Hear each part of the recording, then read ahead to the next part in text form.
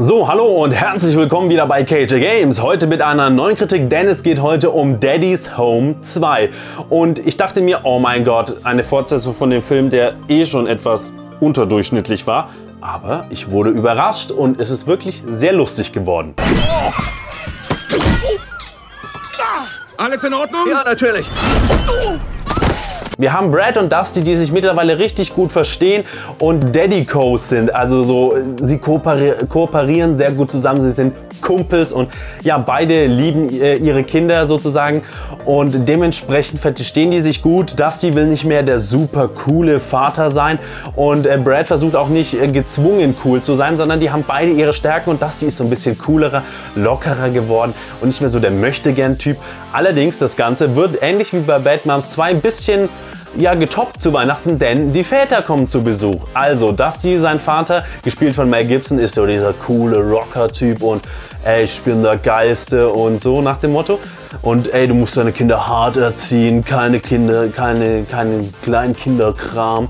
Und ja, da, äh, Brads Vater ist eher so der, ey, ich bin der coole Opa, ey, ihr seid ich bin Kinder und die Kinder lieben ihn halt und ähm, ja, da ist dann auch so ein bisschen Rivalität mit drin.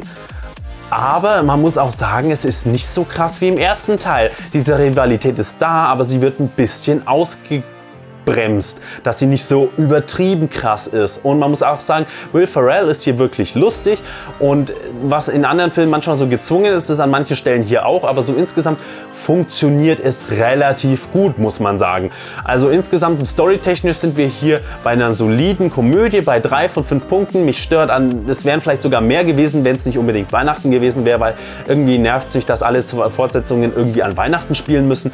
Aber so im Grunde ist es eigentlich ganz lustig und die Rivalität ist nicht so aufgezwungen, sondern eher angenehm und immer mal wieder lustig zu sehen. Dementsprechend ja ganz cool. Vor allem es gibt auch eine kleine Rivalität ähm, ja, zwischen den Kindern, aber ich will nicht zu viel verraten. Und ja, schauspielerisch muss man sagen, Will Ferrell ist klassisch Will Ferrell, nicht überragend, aber lustig. Mark Wahlberg spielt einen sehr sympathischen Familienvater, auch relativ überzeugend. Mel Gibson ebenso.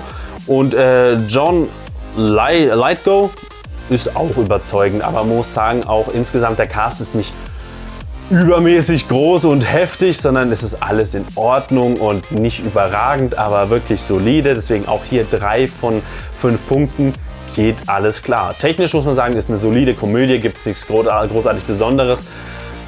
Er hat keine, kein Herausstellungsmerkmal, wo man sagt, boah, das ist wie bei Batmums so, dass die Slow-Motion-Sachen sind, sondern es ist einfach eher so, es plätschert so ein bisschen vor sich hin, deswegen auch drei von fünf Punkten. Der einzige Mensch, der dein Weihnachten ruinieren wird, sieht dich direkt aus diesem Spiegel an. Daddy's Home 2, mehr Väter, mehr Probleme, hat mich überrascht. Ich habe mir wesentlich weniger von dem Film erwartet, weil ich den ersten Teil echt nicht gut fand. Der zweite Teil ist jetzt kein kein Überflieger, aber er ist in Ordnung, er macht Spaß und ja, man kann sich den mal angucken. Er ist leider in 16 zu 9 gedreht, was mich wieder persönlich nervt. Das ist, da, es ist einfach kein Kinofilm, sondern mehr für Home Entertainment gemacht und es wäre auch kein Unterschied, wenn der jetzt einfach nur für zu Hause rauskäme, muss man ganz ehrlich sagen. Dementsprechend ist der Film ganz nett, nicht überragend. Äh, von meiner persönlichen Meinung her sind wir hier bei 3 von 5 Punkten. Ist ein solider Film, eine solide Komödie.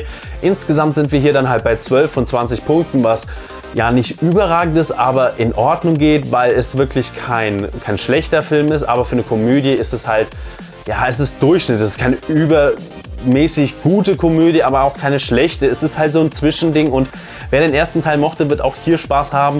Und die anderen müssen sich den nicht im Kino angucken. Das reicht auch vollkommen zu Hause. Und ja, mehr kann ich zu dem Film eigentlich gar nicht sagen, weil er ist an manchen Stellen echt lustig, an manchen Stellen auch ein bisschen derbe, aber auch jetzt kein Fäkalhumor oder so, sondern im Sinne von ein bisschen krassere Sachen, was alles aber im Rahmen ist und auch kindgerecht dementsprechend ja, man kann sich den angucken, ist ganz unterhaltsam. Das war soweit mit meiner Kritik. Ich hoffe, es hat euch gefallen. Wenn ja, lasst gerne einen Daumen hoch da.